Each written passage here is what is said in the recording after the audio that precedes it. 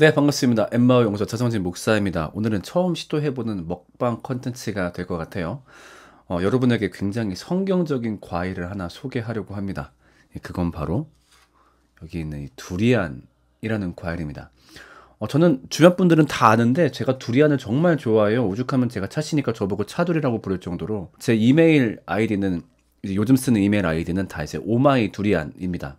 그 정도로 제가 두리안을 좋아하죠. 2015년에 처음 두리안을 먹어봤었는데 말레이시아를 가서 그때 제철 두리안을 처음 먹고서 충격에 빠졌어요. 뭐 이런 음식이 다 있지? 여태껏 제 구강을 통과했던 모든 음식 중에 가장 맛있어요. 모든 요리 다 포함해가지고. 간혹가다 이걸 뭐 악마의 음식이네 뭐 이상하다고 얘기하는 사람들이 있는데 저는 개인적으로 이해가 안 가더라고요. 정말 정말 좋아하고 심지어 두리안 때문에 억지로 해외 나갈 일을 만들기도 하고 두리안을 파는 해외에 가면은 무조건 어떻게 해서든 두리안을 사 먹고 오는 편입니다. 그리고 한국에서도 가끔 생각나면은 냉동 두리안이 있거든요. 그거를 자 근데 이 두리안이 왜 성경적인 과일일까요? 자 일단 두리안의 외형을 보면요, 굉장히 딱딱한 가시 공 같습니다. 그리고 실제로 굉장히 뾰족하고 무겁고 단단해요. 실제로 매년 그 낙과하는 두리안에 맞아서 사망하시는 분들이 있을 정도로 굉장히 위험하게 생겼거든요. 그래서 그 안에 뭔가 맛있는 게 들어있을 거라고 기대하기가 어려운데 그 두리안의 껍질을 딱 열면은 그 안에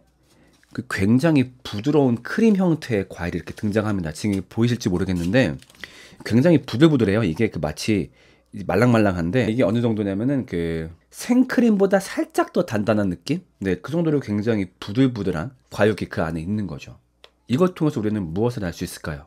역시 겉모습만 봐서는 그 사람을 알 수가 없다. 그 떠오르는 사건이 있죠. 하나님의 선지자인 사무엘조차 사울의 뒤를 이어서 이스라엘의 왕이 될 사람을 찾으러 갔을 때 외형에 속아서 다윗을 알아보지 못합니다. 어, 저렇게 비루하고 없어 보이는 친구가 이스라엘의 왕이 될 거다라고 생각을 못하는 거죠. 이게 참 우리의 습관입니다. 두리안을 보면서 늘 우리의 속단을 반성하게 됩니다. 외형이 좋다는 이유로 과하게 좋게 평가하고 외형이 안 좋다는 이유로 과소평가하는 우리의 모습을 반성하게 되는 거죠. 아 일단 한 입 좀 먹고 얘기하겠습니다. 먹고 싶어가지고.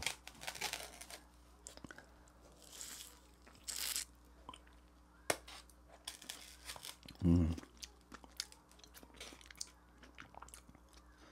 사실 냉동 두리안은 현지에서 먹는 거에 비하면 맛이 많이 떨어지긴 합니다. 아쉽지만은 그냥 마음을 달래는 그 정도인 거죠.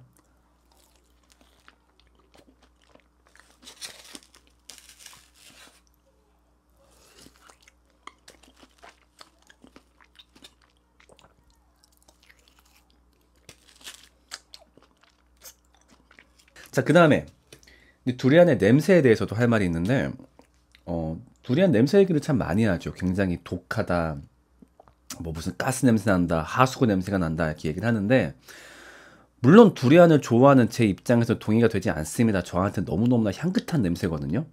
제가 지금 방에서 문 꽁꽁 닫고 이걸 먹는 이유도 이걸 들고 나갔다가 아내한테 혼나요. 냄새 난다고. 네, 뭐 아무튼. 그래서 교민들이 이 두리안 냄새에 대해서 어떻게 말씀하시냐면은 만약에 두리안이 향기까지 좋았다라고 한다면은 벌써 멸종했을 것이다라고 말을 해요.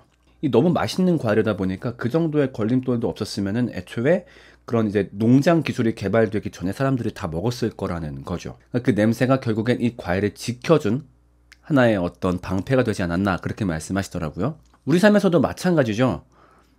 각자 삶마다 자기만의 가시가 있을 겁니다. 아, 나는 왜 이렇지? 나는 왜 이걸 못하지? 나는 왜 이런 부분이 아쉽지? 근데 생각해 본다면은 외모를 예로 들어볼까요? 아마 그런 아쉬움 가지신 분이 있을 거예요. 내 외모가 이랬더라면, 내 키가 좀 더 컸더라면.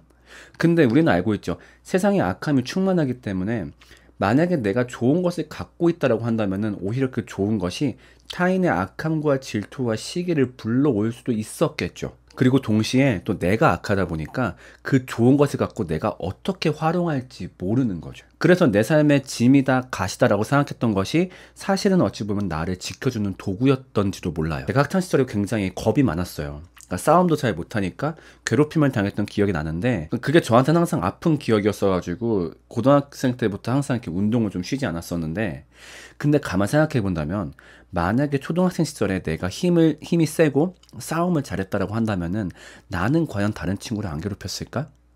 어, 좀 자신이 없더라고요. 저는 알거든요. 제가 안에 화도 많고 성질도 많아서 만약에 거기에 힘까지 썼으면 전 분명히 지금쯤 누군가한테 가해자로 기억이 되었을지도 모른다 생각이 들어요. 그러니까 제 삶의 짐이었던 것이 나를 보호해주는 하나의 방패였던 거죠. 그래서 이 두리안을 보면서 내 안의 가시에 대해서도 감사하게 되는 마음을 갖게 되는 것 같습니다. 자, 또 한 입 먹고 얘기할게요.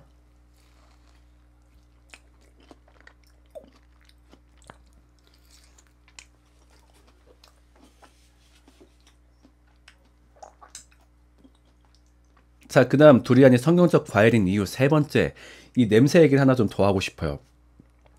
맞아요. 두리안 냄새가 굉장히 독하고요. 냄새를 엄청나게 잘 풍깁니다. 그래서 그래서 실제로 동남아에 있는 호텔에 가면은 그 아예 문이나 엘리베이터에 써 있어요. 노 두리안 해가지고 두리안 반이 금지예요. 아예. 근데 만약에 어떤 사람이 몰래 호텔에 숨겨와서 두리안을 먹었다. 그러면은 그 방을 이틀간 폐쇄를 하고서 공업용 공기청정기를 돌리거나 아니면 그 소, 그 냄새를 빨아들이는 기계가 있다 그래요. 그거를 방에다 싹 돌려야 냄새가 빠진다고 합니다. 그만큼 강한 향기를 지니고 있다는 거죠. 우리 또한 그래야 되지 않을까요? 우리한테 예수님의 향기가 막 풍겨나서 얘만 어디에 갖다 놓으면 그 주변이 다 예수님 이야기로 바뀌는 거죠. 이단들은 이게 있는 것 같거든요, 오히려. 그러니까 우리가 예를 들면 누가 신천지다 아니면 누가 뭐 하나님의 교회다라고 하면은 내 지인들이 걔 근처에 가는 걸 두려워해요. 혹시라도 걔한테 그 종교를 옮아올까봐. 왜냐면 얘네가 하도 그 종교를 말하고 그 종교를 전하고 하니까. 그런데 반면에 우리 또한 그런 두려움의 시선을 받고 있나?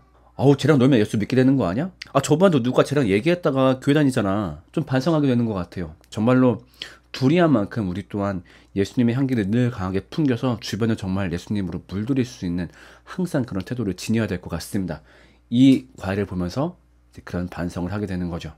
얼마나 성경적인 과일입니까? 그런 걸 알아보지 못하고 이게 뭐 냄새가 난다니 어떤 나느니 내가 두리안 좋아하는 걸 보고 이해가 안 간다느니 당신들이 모르는 거라니까.